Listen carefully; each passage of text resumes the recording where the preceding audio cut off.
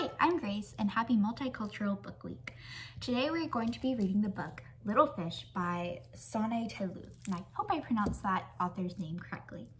This is a story about a girl in Mexico, and so I'm very excited. And look how pretty that front cover is. It's so pretty.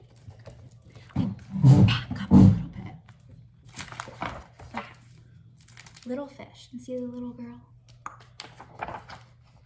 Rosa is bored. Grandmother is busy making tortillas for market. Come on, Esperanza, says Rosa, giving the donkey a push. Let's go play. But the donkey doesn't move.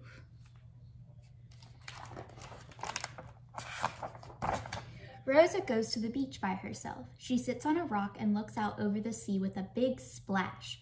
The pelicans dive down into the water and then come up again with their beaks full of fish.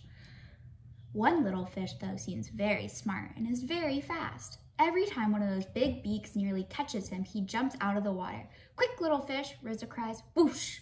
Suddenly her skirt is soaking wet. What is that swimming in her lap? Little fish, says Rosa, Rosa says, amazed. Don't be afraid, you are safe with me. Do you see the fish in her lap?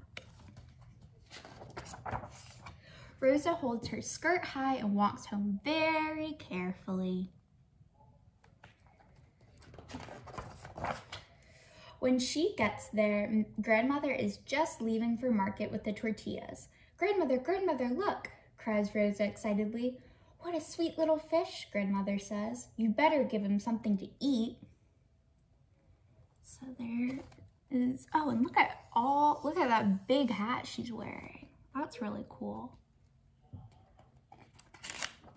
Oh, and back here, it says La Sirena, or I hope that's how you pronounce it, but I'm guessing that's Spanish for mermaid.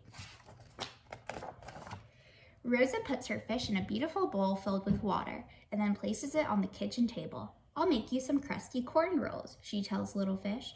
You're sure to love them.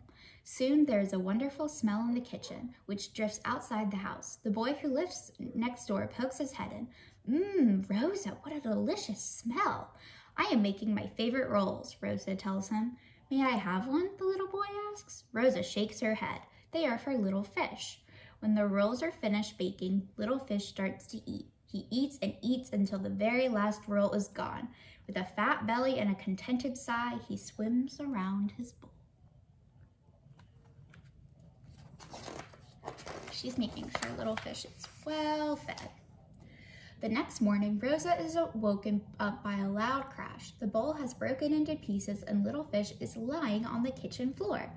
Look how much you've grown since last night, Rosa exclaims. Quick, put him in this tub, Grandmother says. He should fit in here. Just for little fish, Rosa began to cook all her favorite dishes. One day she makes a sweet cassava cake. The next day, tortillas with lobster and cactus slices. Little Fish eats everything. The other children who live in the neighborhood come to have a look at Little Fish. What a beautiful fish, they say, and look how big he is getting. He is getting so big. He's not so little anymore. Yes, Rosa's fish is growing and growing and growing. He doesn't fit in the tub anymore, grandmother says. Why don't you put him outside in Esperanza's water trough? What a good idea. Little fish goes into the trough and Rosa goes back inside to bake him a wonderful cake. Suddenly, she hears the little boy from next door shouting, Rosa, Rosa, come quickly. Rosa looks outside.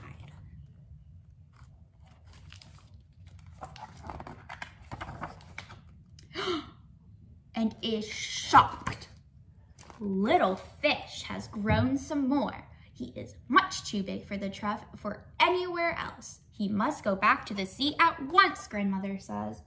He is so big. Look how little she is standing next to not so little fish anymore. Pretty crazy. Together the children pick up little fish and carry him all the way from Rosa's house.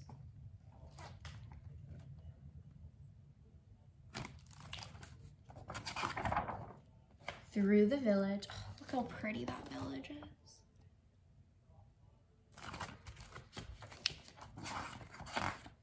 And look at all the, um, like it has the stores, like La Panaderia, which is like a bakery.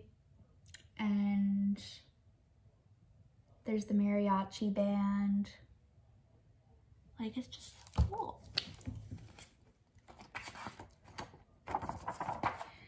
To the sea, there they put him in the water. You don't have to be afraid of the pelicans anymore, Rosa says, but I will miss you. Little fish splashes with his tail and dives under the water. What a pity about the cake, Rosa sighs. He didn't even have a chance to taste it. Cake, the other children shouted. The cake, the other children shout. There is cake, hooray!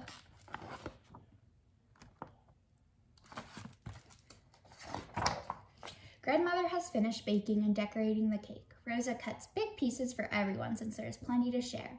In the distance, little fish leaps out of the water. Look, says Rosa. He looks just as little as the first time I saw him. So sweet. And there's the pretty inside again. So I hope you all enjoyed that book. And I also encourage you to go and research more about Mexico and some of the traditions in the culture. I think it'd be really fun for you to do with your parents, of course. And I hope you have a great day and you join us tomorrow for another book. Let's see what we're doing then.